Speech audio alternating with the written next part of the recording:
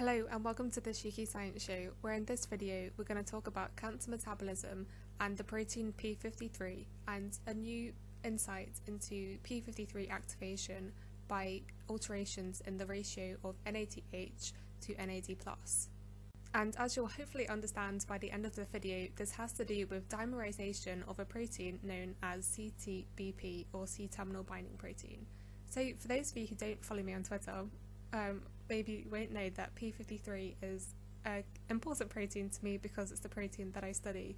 And um, I like to think it's quite a famous protein. And one of the reasons that it is such, well, a famous and well studied protein is because more than 50% of tumours have mutations at the P53 gene location. And these mutations affect the function of P53, which is as a tumour suppressor. And so P53 is activated by a variety of different stresses that cells undergo, and it activates various different responses in accordance to these stresses. And this is all to restore homeostasis within a cell and to prevent any damage. And so, for these reasons, this is why P53 is often referred to as a tumour suppressor. However, when the protein gets mutated, these responses become defective, and that can lead to cancer growth and tumour formation. So, how does it achieve these different responses? Well, P53 is a transcription factor. So, what that means is it can bind to DNA and activate the expression of lots of different genes. And the way by which P53 does this is by binding DNA as a tetramer. So P53 is a pretty important protein and for these reasons its expression is tightly regulated. So in a normal unstressed cell, P53 is continuously made and then degraded and it's degraded by a protein known as MDM2. So this seems like a pretty wasteful mechanism and the equivalent would be using all my energy to, to bake a cake to then just put that cake in the bin and to just keep on repeating this process. But then the good thing is that if suddenly someone wanted a cake because it's a birthday, I would have one that ready and made to be used straight away. And the same goes for the cell. If a stressful occurrence happens, P53 has already been made that it can just get activated and stabilized and respond to the stress, and so it's rapid response. Now, when I talk about P53, I often like to show this slide because it pretty much represents how I feel when it comes to trying to read the literature surrounding P53. And so, because it's so highly studied, there's just so much information out there, but at the same time, we still don't fully understand this protein. It's a bit an enigma. Anyhow, I try to do my best to keep up with the literature, and so obviously I recently read this paper uh, that talks about P53 and its interaction with the NADH to NAD plus ratio. So before I go any further into explaining the results from that paper, we just briefly need to recap what NAD plus actually is. So I feel like I've spoken about NAD plus quite a few times now, but why not? It's such an important cofactor for the body and it's involved in so many different interactions, but its main functions can be split down into two different areas, one of which is its role as a redox coenzyme and the other is as a substrate for NAD plus consuming enzymes. So in this video we'll focus on its association as a redox coenzyme and so this simply refers to its involvement in metabolic processes. So the easiest way I thought to explain this would be through a diagram. So metabolism involves breaking down molecules to obtain energy. And so one of these molecules is glucose. And so glucose can get transported into cells and through a process known as glycolysis can produce ATP and during this process it also consumes NAD plus and reduces NAD plus to NADH. The products of glycolysis can then get transported into the mitochondria where they can be further metabolized to produce more ATP or the energy source for the cell and also through this process you can regenerate NAD+, and so this makes NAD+, available to be used again through glycolysis.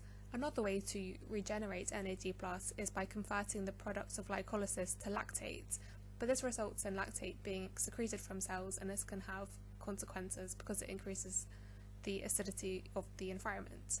So in normal cells, the ratio of NADH to NAD plus is around 1 to 700, However, in cancer cells, this ratio can get increased to around 3 to 700.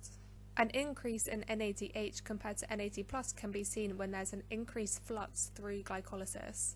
Now, there are many different hallmarks of cancer, and one of these hallmarks is dysregulated metabolism. So, tumours develop because of uncontrolled growth, and to fuel this growth, the cell needs energy.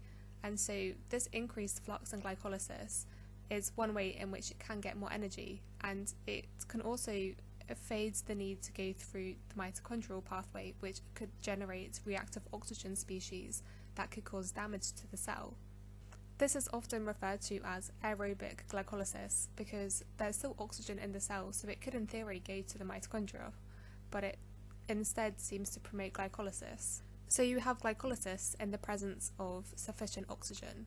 And so glycolysis is more than just a linear pathway, and intermediates within this pathway can be used in different metabolic pathways as well, and one of these is the pentose phosphate pathway, which can be used to generate NADPH, which is thought to prevent and alleviate DNA damage. In addition, intermediates in the glycolysis pathway can also be used for nucleotide biosynthesis, and this can aid growth of the cell. The problem is, is that glycolysis uses NAD plus and forms NADH, and whilst you can still regenerate that NAD plus by converting the products to lactate, you don't regenerate as much as you would do if it went through the mitochondrial pathway. However, when the rates of glycolysis can get too high, it could lead to glycolytic stress, which could actually cause more damage than good for the cell. And so, when a cell typically gets damaged, there are kind of two typical responses, one of which is cell death, and the other is survival, but the consequence is that you could end up with even more mutations within the DNA which could further drive tumour development. And so this is where P53 comes in because as we know it is involved in responding to cellular stress. And indeed studies have shown that activation of P53 by preventing cell growth reduces that metabolic demand and other studies have shown that P53 can promote this pentose phosphate pathway to produce more NADPH. But what these studies haven't shown is what actually activates P53 in the first place in response to this increased glycolytic flux. And so this is what the paper tried to get at. And to summarise a lot of really hard work in a very short period of time, what they found was that this is related to a protein known as CTBP, which stands for C-terminal binding protein. And so this protein can either be found as a monomer or it can dimerize. And previous studies have shown that its dimerization is due to the levels of NADH within a cell. So when there are high levels of NADH, it promotes the dimerization of this protein. And so, interestingly, when this protein, CTBP, is a monomer, it is shown to interact with MDM2, which is this protein that leads to P53 degradation. However, when it's in its dimer form, it showed in the study that P53 got stabilised and activated.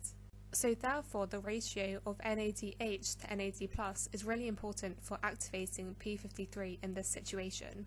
However, there are still some unanswered questions, such as how this interaction between CTBP and MDM2 actually enhances P53 degradation, and how the loss of this interaction can result in stabilisation of P53.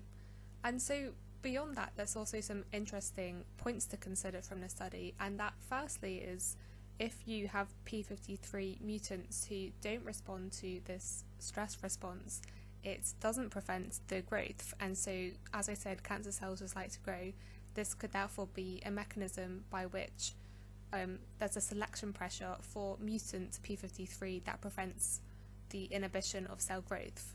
And this is further supported by the fact that we know aerobic glycolysis is a hallmark of cancer cells, and that P53 is commonly mutated in cancer. The second interesting point, which I feel like I might get asked if I don't talk about it, is what happens then if people are taking supplements to increase NAD plus levels. Well, as I said, this dimerization is driven by the ratio of NADH to NAD plus. So if you have more NAD plus, in theory it would drive the direction such that CTBP is more often as a monomer. This would therefore prevent P53 activation and the prevention of cellular growth. So that could be seen as a bad thing, but on the flip side, by having high NAD plus levels, it prevents the increase of the stress response in the first place because the NADH to NAD plus ratio would remain low. But bottom line, I don't really know the answer, and it would definitely be more complicated than this because we know NAD plus has multiple functions beyond just being a redox coenzyme. But I hope this has given a good uh, insight into cancer metabolism and the potential links between P53 and NAD plus levels. So hopefully you've learned something, and as always, thanks for listening.